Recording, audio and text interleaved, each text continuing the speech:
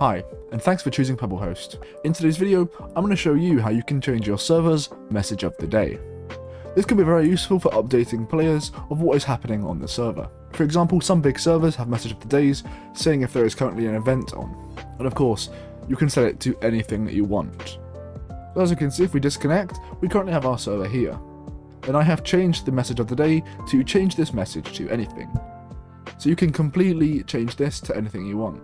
So now I'm going to show you how you can change this. There is two ways to do this. There's a really easy way and there's also a slightly more advanced way. The easy way is just very simply just changing the text. The more advanced way just lets you make stuff bold and change colours of text and stuff like that. Anyway, let's get into the simple one first. So of course first we want to come onto our Pebblehost server here. And then on the left you want to click File Manager. Once you're in the File Manager, as you can see we can scroll down to server.properties.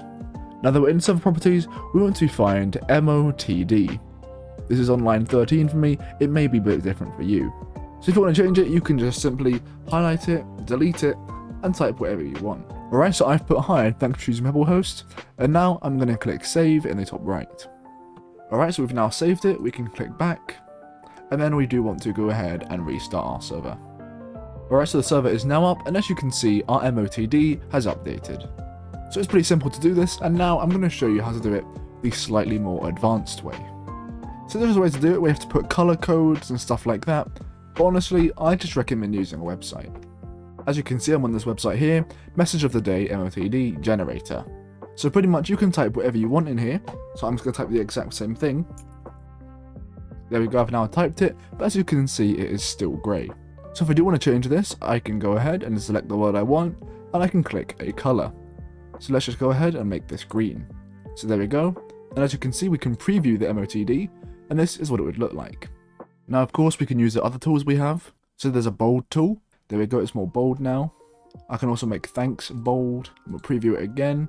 And there you go, thanks is more bold. And also if you click this little Greek letter, you can see that we have tons and tons of symbols that you can use. So I'm just going to put a green triangle on each side. There we go. And now, as you can see, it is all customized.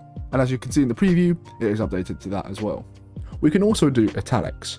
So if we select this word, we can then click the eye, and as you can see, it is now slanted. We can also do a line through, so if we select this one, as you can see, there is now a line through the word. And then a final one is this one on the end. This will basically scramble the letters. So now if I click preview, all my effects have taken place, and the word Pebblehost is now scrambled at the end. Then you want to click create, and then you can copy and paste this in. As I said earlier, if we didn't do it this way, we would need to add all these codes ourselves, but the website has done it for us. You can then click the copy button, and as you can see, it has now been copied. We can then go back to Pebblehost, go to the file manager, and scroll down to server.properties once again. And then where it says MOTD, we can go ahead and select this, and then just press Ctrl V on your keyboard. And as you can see, it is added to all the code. We can then click save, and then click back, and now we can restart our server. The rest of the server has now started up, and we can go ahead and click multiplayer. And as you can see, the MOTD has been applied. We have the arrow, we have the normal hi, we have the italic and, we have the underlined thanks, and it's also bold.